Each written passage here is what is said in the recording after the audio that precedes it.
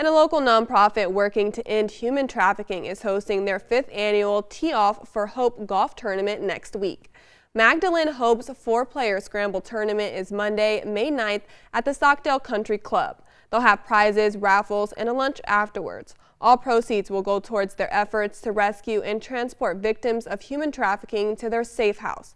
23 ABC is a proud sponsor of the event. For more information on how to attend, visit our website turnto23.com.